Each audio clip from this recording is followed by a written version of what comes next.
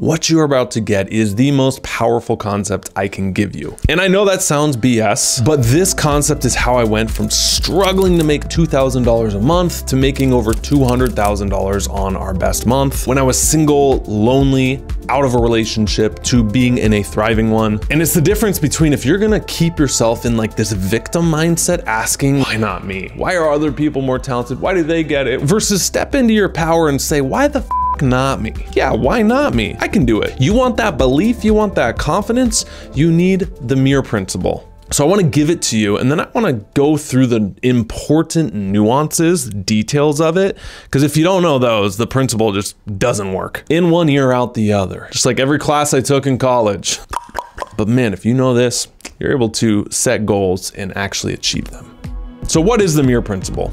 The mirror principle in one sentence, your outer world is a reflection of your inner world. Just like when you look in a mirror, you see yourself. Your dog thinks it's real when he looks in the mirror and gets all freaked out, right? But you know that's not actually the real you, it's just a reflection. So if you want to change the reflection, what do you do? You have to actually change yourself if you raise your hand, the mirror image raises its hand. Most people struggle because they're trying to metaphorically cover up the mirror of life. Like they see something they don't like or they see their flaw, and instead of like trying to change it, they just put a cover over it. Or they try and break the mirror, they argue with the mirror, they spend a lot of time wishing that thing wasn't there. In order for anything in your outside world to change, it has to start with an inner transformation.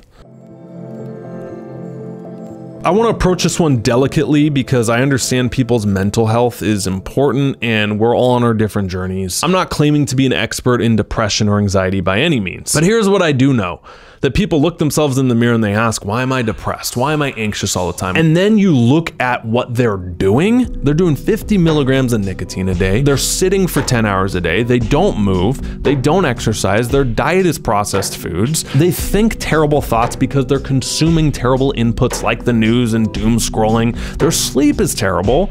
You know, they're getting less than six, seven hours a night. They're drinking alcohol. They're not having their own experiences. They're living, watching through the experiences of others. Now, you take all those nine or 10 things and you ask, why would that person feel good?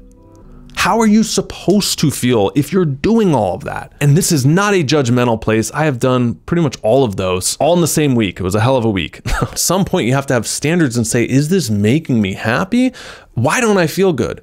And you need to look in the mirror and to say that's why I'm doing boom, boom, boom, boom, boom. And you know, it's not a pill I'm missing. It's not a someone coming in to save me and fix me. It's the radical decision to take a hundred percent responsibility for what I see in the mirror. The victim mindset looks for who's going to come save me. Why isn't my reflection like other people's? What does their look like? Oh, let me compare. The victor mindset realizes no one's gonna come save you. It's all your responsibility. And the flip side of this is if it's not your responsibility, whose is it? That's a scary thing to realize. Like if you're not responsible for your life, if some other people are, that's fucking terrifying. You should be anxious and scared and depressed. Like you're not responsible for your life at all. You're just sitting in the back of a car and there's some maniac driving it. Like that's a good time to be anxious and like overwhelmed. But if you're in the driver's seats and it's all in your control, that's where your real power is. And now you get to make the decisions of what you want the mirror to reflect to you. This year, I've done a ton of therapy and coaching, more than I ever have, I think, in my whole life. You pay hundreds of dollars, you meet an hour a week. And in that conversation, it's not like magic happens. You walk away from that and they tell you tips and things to do, but they're not coming to your house making you go to the gym they're not coming to your house making you stop thinking those thoughts. They're not coming to your house like cooking your food for you. Like it's on you and you alone to do those things. They can help therapists, coaches, programs, teachers can help you, but it ultimately boils down to you and you alone. And this doesn't have to be isolating. There are people you can connect with on this journey where you can just, dude, this this is tough. I'm having a tough time about this. And that can be life-giving and recharge you to keep going. No one is coming to save us. That is the harsh reality.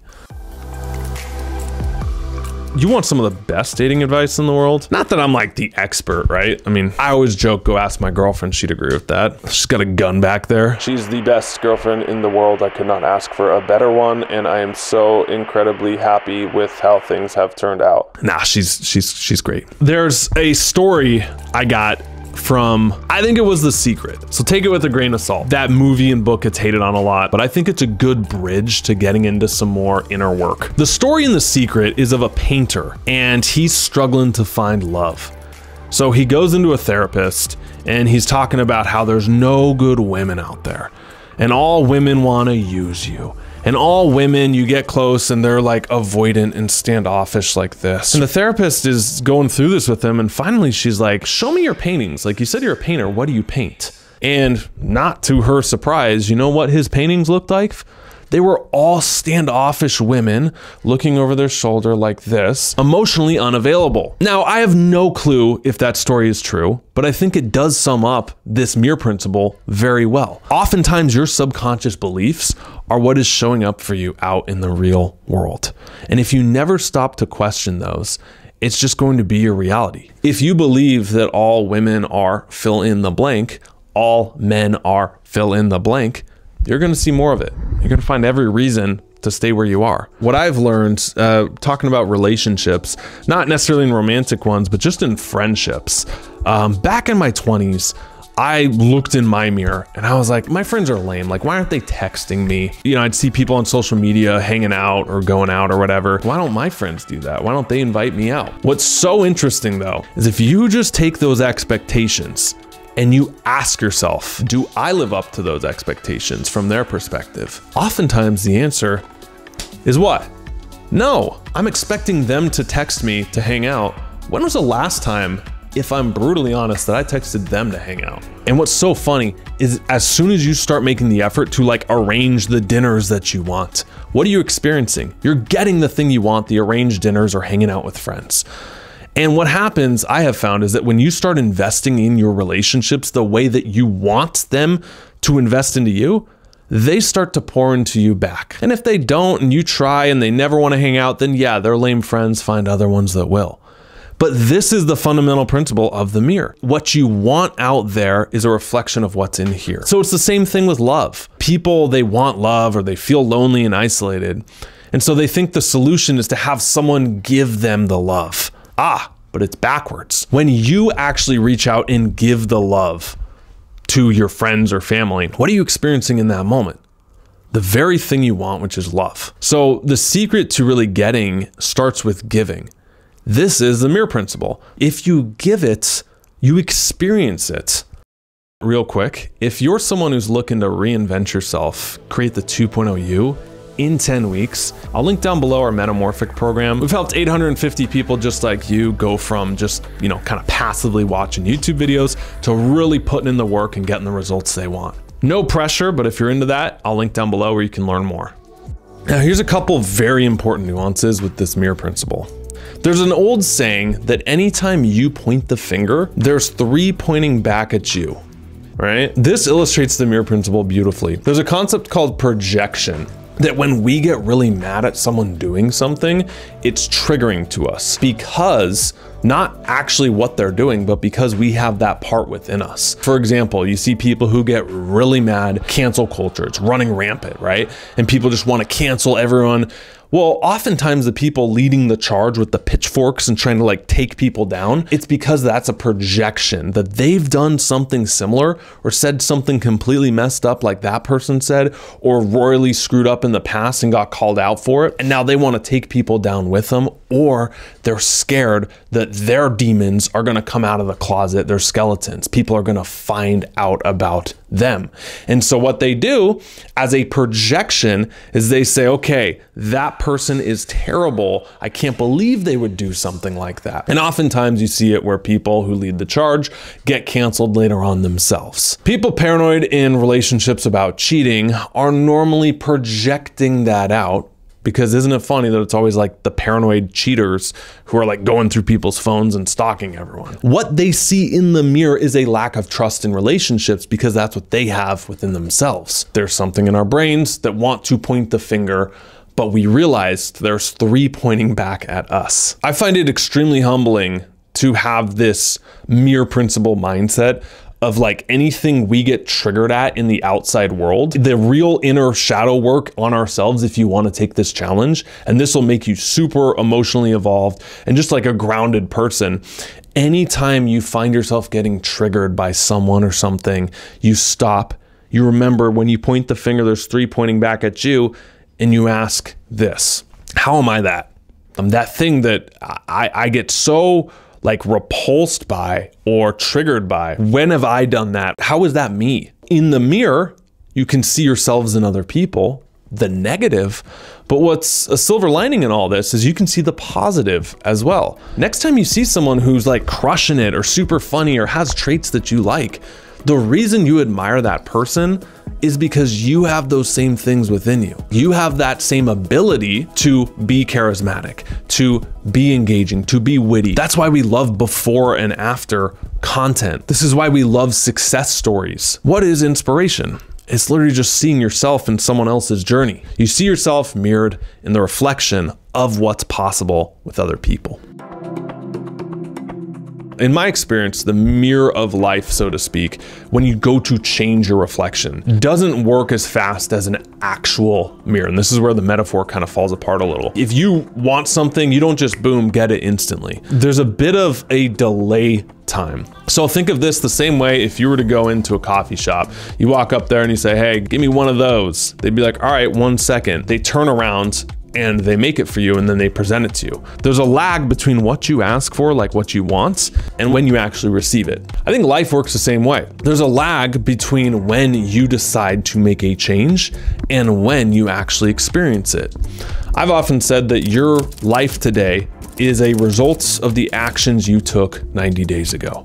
Your body right now, if you've ever tried to get into shape, uh, you know that it takes months of doing things perfectly before you actually start seeing results, doesn't it?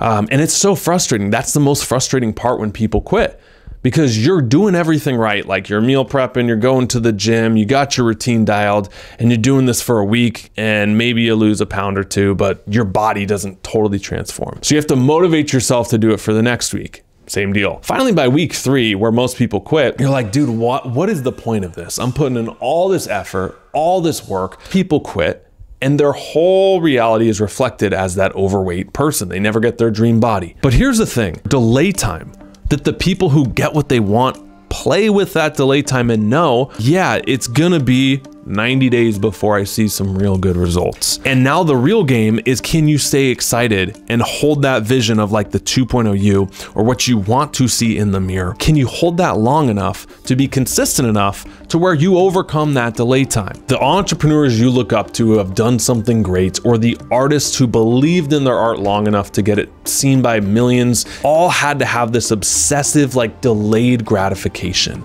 When they looked in the mirror, the vision they wanted for their future, it did not reflect anything that they had in their mind.